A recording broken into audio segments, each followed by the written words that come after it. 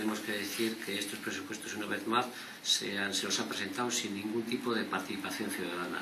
La ciudadana no, no se cuenta con ella, con ella, para nada. En segundo lugar, tenemos que decir que son, creemos que son los presupuestos continuistas. Se sigue priorizando el centro de Bilbao, sus actividades, sus inversiones respecto a los barrios. En tercer lugar, tenemos que decir que en estos momentos de crisis económica tendríamos que priorizar eh, las, las, partidas dedicadas a las personas, la inversión en las personas. En ese sentido, creemos que debería la acción social tener más presupuesto que el que tiene. Tendríamos que también tener más presupuesto para igualdad, cooperación, participación, que disminuye casi un 30%. Y finalmente también otro tema que nos preocupa es el tema del euskera, que también su, partida pues, ha sido B reducida en un porcentaje de en torno al 10%.